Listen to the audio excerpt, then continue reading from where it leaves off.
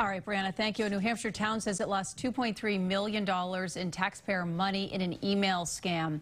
The town of Peterborough thought it was sending the money to the Conval School District and a contractor on a bridge project. Town officials do not believe the funds can be recovered. It's unclear if it will be covered by insurance. The Secret Service is investigating. They say the money was converted to cryptocurrency. They believe the scam originated overseas.